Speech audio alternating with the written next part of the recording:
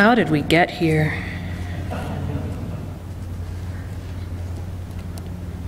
How did we get here? Have you ever had a moment where you've had to ask yourself that? I'm directionally challenged. There are times when I have literally had to ask myself how I got somewhere. but really, what I mean is those moments in your life when something has gone sideways, something isn't what you'd hoped it would be, something isn't what it used to be. Maybe it's a relationship that, that used to just be humming along and now it's not working. And you just stop and how did we get here?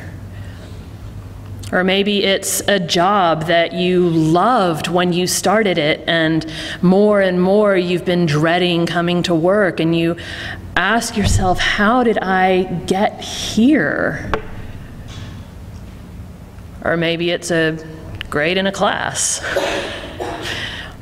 Or you started the semester and you were organized and you were on top of everything, and then you got your midterm grade and you thought, How did I get here? How did we get here? Maybe it's looking more globally. How did we get here? How did we get so divided? How did we get so hateful? How did we get here? I imagine the disciples asking that question in Jerusalem as it became clear that things were going really, really wrong. How did we get here? Three years we've traveled together, three years we've ministered together, three years we've healed, we've spread the good news. Three years. It wasn't all roses. But how did we get here?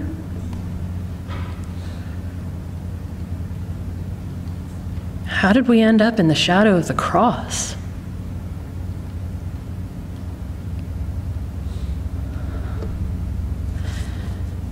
If we are truly and honestly going to celebrate Easter, and the risen Christ, the victorious Christ on Sunday. We also have to stop first in Holy Week, which is not easy, I know, because nothing else stops. The world keeps going and people keep expecting things from you, and there are things that you have to do, and assignments to turn in, and assignments to grade, and everything else that has to be done. But if we are going to celebrate on Sunday and be honest about it, we have to stop in Holy Week. From the vantage point of Holy Week, we can, if we try, suddenly see the whole story compressed into these days. We can see clearly to the beginning and clearly to the end. Jesus came so that the blind may see so that the lame may walk, so that the prisoner can be set free. And if we stop in Holy Week, we might just get an inkling of how blind and how paralyzed and how imprisoned we have been Jesus came to bring good news.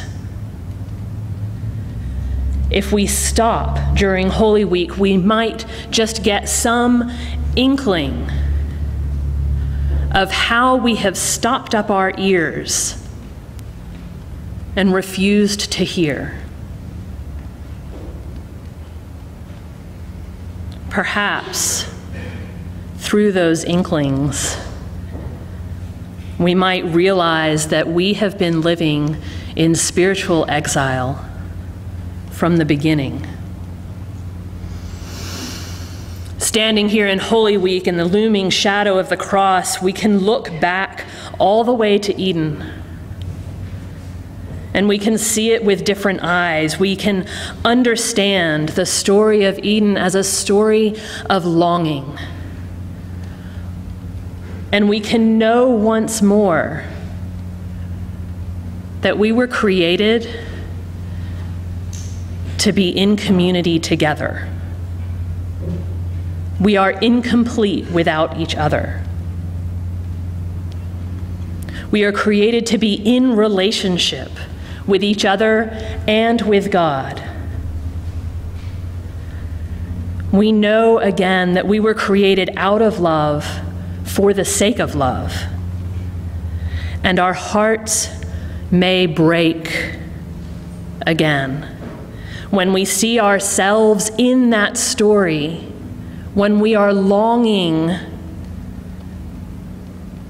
to go back, when we see ourselves in that story choosing again power over love,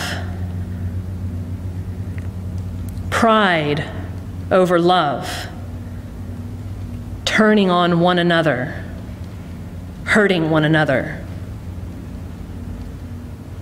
just for the sake of our own pride. Sometimes we talk about how Jesus came and, and in his teachings and in what he did in his sacrifice, he turned everything upside down. But I think that's really only a matter of perspective. I think in truth, we are the ones who have things upside down we turn things upside down by choosing power and pride. We've been living in the upside down and not even recognizing it. Jesus turns things, turns the world right side up again. Or at least gives us glimpses of what the right side up world looks like. We look back with regret and longing. Jesus has shown us that it did not have to be that way. But we also look forward with hope. Because we know, as we stand here in Holy Week, we know that we have been promised that God will not forsake us, that Jesus will come again in glory, that every tear will be wiped away, that the world will be created anew. And we stand here in the looming shadow of the cross, knowing that to face what happens there, we have to face ourselves. Whether we are in the crowd shouting, Crucify him, or one of the twelve who betrayed him, denied him, fled, or one of the women grieving with him until the end but powerless to stop what was happening. We have to face the truth of our own pride, our own hunger for power. We have to face the ways that we have made ourselves comfortable in the upside down. And then the cross. In the upside down, the cross makes no sense. It is foolishness, utter ridiculousness. We have to be willing to admit that. We have to be willing to look at this story we tell from every angle and admit that it is nonsensical. We tell people that this man, this Jesus, died in a horrific way after being brutally tortured, and that he could have stopped it, but went willingly. And for this we praise him? This is ridiculous. Who would believe such a thing? We tell people that after he died, he was buried in a tomb and then he was resurrected. And that he was seen by many, walked around, spoke with his followers, and then he ascended into heaven. Who would believe such a thing? Foolishness, nonsense, ridiculous. It is a foolish tale, and here in the upside down, in this spiritual exile, it makes no sense at all. But if it weren't ridiculous, it wouldn't matter. If it weren't foolishness, it wouldn't mean a thing. If it weren't utter and complete nonsense in this twisted upside down world, it wouldn't have made a difference. If Jesus were just another teacher, a guy with some radical views, maybe we would know some of what he said, but he probably would have disappeared into history. If it weren't nonsense, if it weren't ridiculous, if it weren't foolishness, if it weren't all of this, we wouldn't know it was God.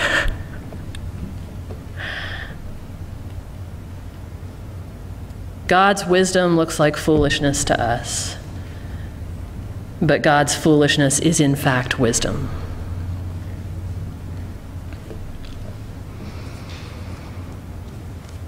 But it gets harder. Because beyond the shocking and hardly believable, unbelievable physical facts of the cross lies a bigger truth that's even harder to swallow. On the cross, and in the tomb, love overcame pride. Love defeated worldly power. Love was victorious over violence and even over death. And believing that is ridiculous and risky. Believing that means that the world is not as it appears, and that we are called to live differently that we are called to take that risk, to step out, to deny ourselves, to choose love, to choose the other, to cross lines that have been artificially drawn, to welcome the stranger in in a world that tells us how dangerous that is, to listen to one another at a time when that might be the most dangerous thing of all.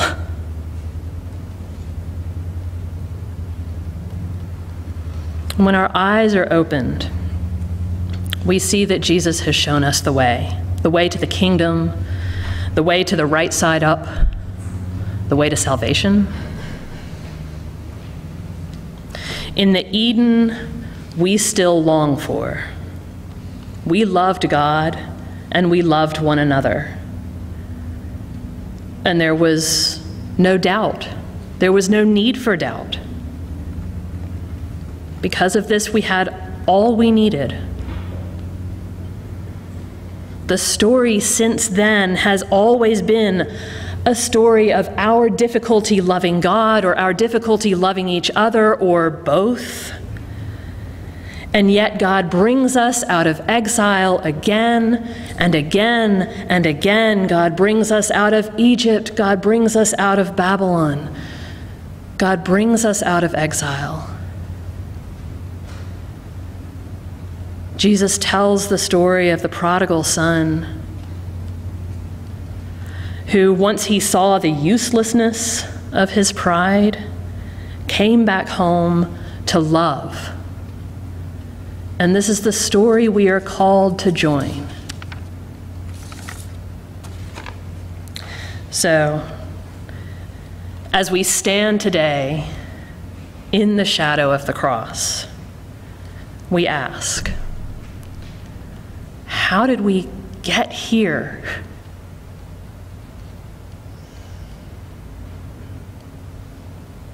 The madness of this world, the choices we make. I want it to be like a TV drama where, you know, somebody will say three months ago, and, you know, you get to see what decision you made that got you to where you are now, or, you know, 50 years ago, or 700 years ago, a few millennia ago. How did we get here? I think we got here by forgetting. I think we got here because we forgot who we are. And I think we got here because we forgot whose we are. But Holy Week calls us to remember. That's why we do this year after year. Holy Week calls us to remember that we are children of God. Holy Week calls us to remember that we are created by and for love Holy Week calls us to remember that this God who created us has reached through space, through time, through suffering and pain, through death itself, and has torn the veil to bring us home to love.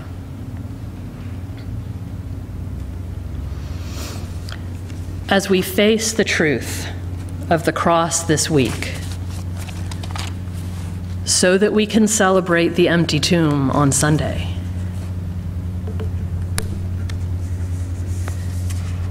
as we face the truth of ourselves. May the blind see. May the lame walk. May the captive go free. May we begin to live in a right side up world. Amen.